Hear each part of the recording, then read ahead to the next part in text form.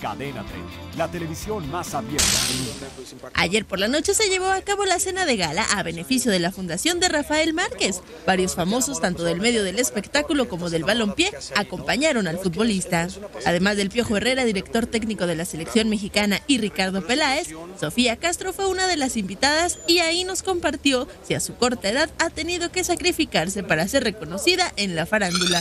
No es que sea diferente, simplemente yo creo que descubrí lo que quería hacer o, empecé a trabajar más, más chica, bueno, más chica de a la edad que se empieza a trabajar y yo descubrí que a mí me apasiona esto y que mi vida es esto y cuando yo creo que encuentras lo que te gusta y lo que te apasiona, pues no te importa nada y le echas todos los kilos y le echas todas las ganas para, para hacer lo que te gusta, como yo lo he estado haciendo. ¿Has sacrificado algo? Sí, tiempo con mi familia, cumpleaños de mis amigas, pero pues yo creo que cuando ves el resultado final y el resultado de la gente lo vale y dices, bueno, todo lo que sacrifiqué y todas las ganas que le eché, valió la pena. Otro que también por trabajo no para es José María Torre, y es que parte fundamental para poder desarrollarse como actor y empresario han sido sus parejas sentimentales. Yo he tenido la fortuna de, contar con parejas que, que me apoyan no por ser eh, o más famosas o más bla, bla, bla. Ese es el mismo juego, por eso se llaman parejas, porque tienen que estar parejos. Entonces, la verdad es que me, ha tocado la fortuna de que todas me han apoyado eh, en su momento y, me han cobijado. Y de eso se trata de hacer equipo, justamente, ¿no? Entonces, eh, la verdad es que no me quejo, estoy, estoy, estoy muy bien y, y con muy buenas historias y creo que de eso se trata. Y hablando de amores, el que está a dos pasos del altar es Rodrigo Vidal, vocalista del grupo Motel.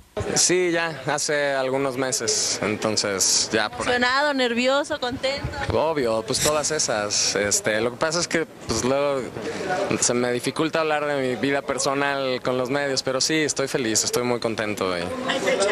Sí, ya, ya hay fecha. Pero es un secreto.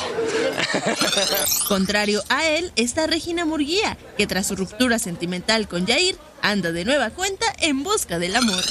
Estoy muy contenta porque estoy llena de trabajo, no descanso un solo día, pero pues nada, pedir otra vez mucha salud, mucho trabajo y amor.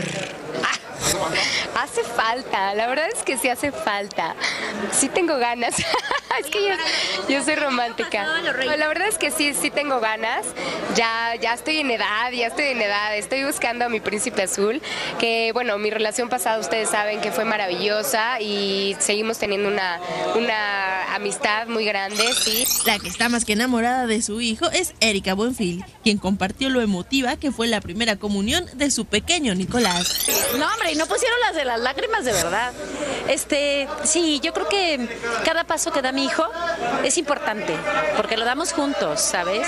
O sea, el desde que tomaba clases de catecismo, estar al pendiente, rezar con él, crearle una fe, eh, eh, en fin, hay, todo ese tipo de cosas que compartes con tu hijo y cuando llega y, está el momento y la fiesta toda a su alrededor y, y, sus compañeros y él mismo y vestido y todo, bueno, fue un numerito, carísimo, carísimo, pero, pero valió la pena.